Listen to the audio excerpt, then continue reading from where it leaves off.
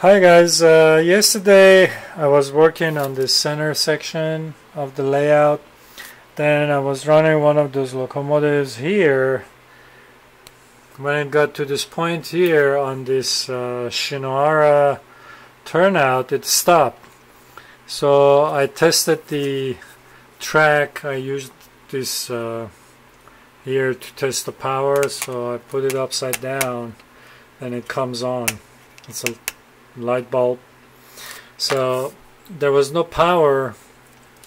So what I noticed I don't know if you have seen in the Shinohara uh, switches there is a copper contact under the right there. You can see. So that when it moves it makes contact with the stock rail and delivers power to the point rails. So these contacts aren't working well so every time the locomotive came on, on top of this uh, turnout it would stop. It wouldn't do all the time. I mean I've run many locomotives but it never stopped but yesterday it did and that made me to take it out and uh, I'm not gonna fix that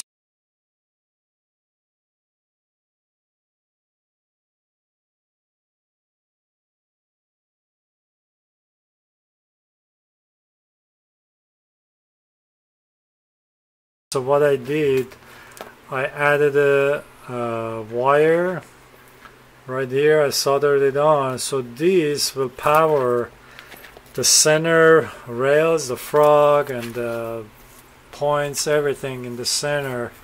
It's gonna change polarity by using this relay pack here. This is a Tam Valley Depot relay pack.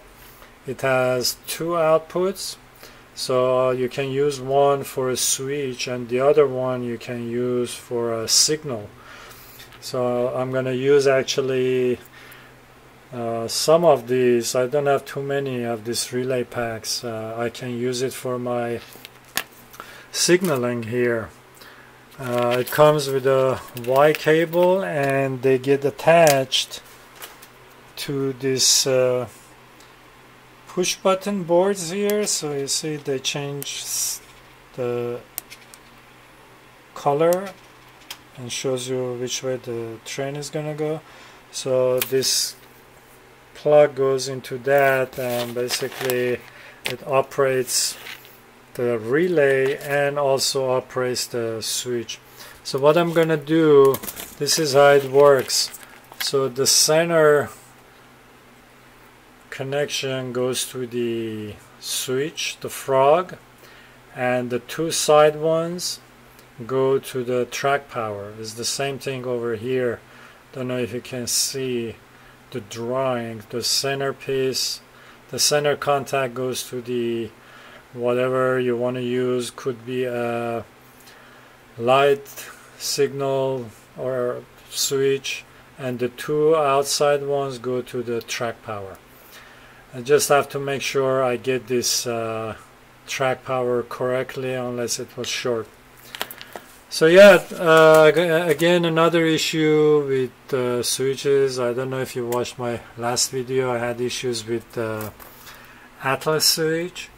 So I'm gonna install this, do the wiring. I have to take this board out and wire in the back and uh, that's gonna be a little bit of, of work because there is a lot of wires back here. Let me show you. I gotta find out. So this is the the switch.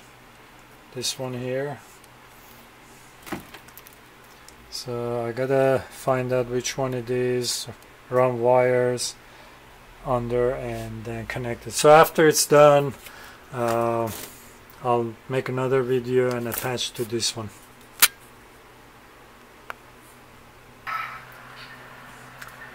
Okay guys, uh, I put the switch in place but I haven't hooked up the wires yet and let me show you what happens.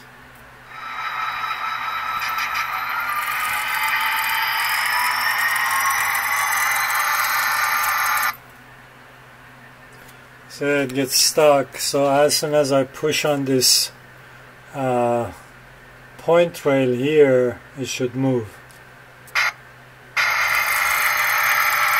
Okay.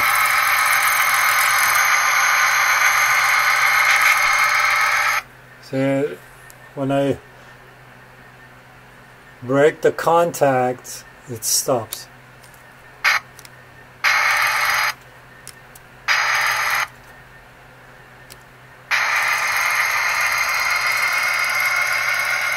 Alright, so after I do the install this, uh, I'll show you guys. Alright guys, I wired the relay. Okay, so there's a little problem. Hopefully I can explain it so you guys will understand.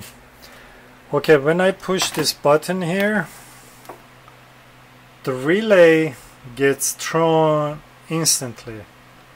So it changes polarity right away. But the switch here look how slowly it moves.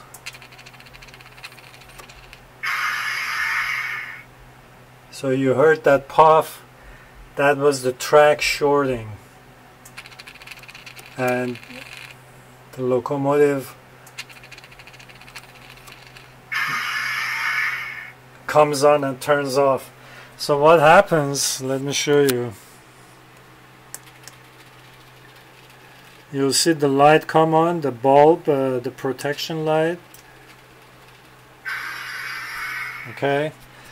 So what happens? Before this track gets disconnected from this one because it's moving so slowly. It shorts out. It, uh, the relay changes the polarity of this center tracks. So right now let's say this is white this is black okay? So right now the relay it's uh, contacting the black it's because this right line track is black this is white. So right now the center everything it's black okay? So when I bring the switch throw the switch to this side so right now the center tracks are white including the side the track on on this side it's white. So now when I push the button the relay will switch to black wire but the center tracks are still connected to the white. So when I push the button the center tracks will change to black but they're still connected to the white so that's why it shorts. I don't know if uh, Octopus III I don't remember if it has a delay on the relay or not but I know I think the singlet that controls only one switch I think that one has a delay. So what it does it gives it a delay before it changes the polarity. So switches slow like this will have time to go to the other side before shorting with this track. So I think I have another uh, Shinohara track.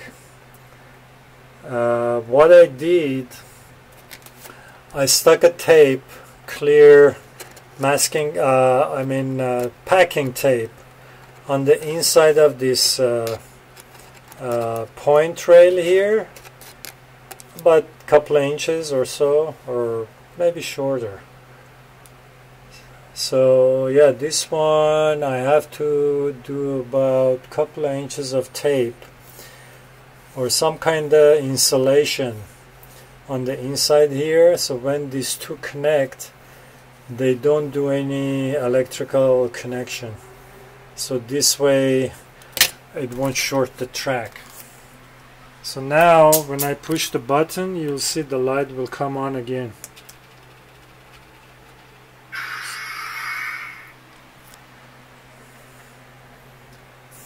So you see it move to the other side. Alright, so I'm gonna read the manual of the Octopus III see if it has a delay or not. I don't remember. I don't think it has it but uh, if it doesn't then I have to do some type of insulation in the center. I think tape is the best thing. Alright then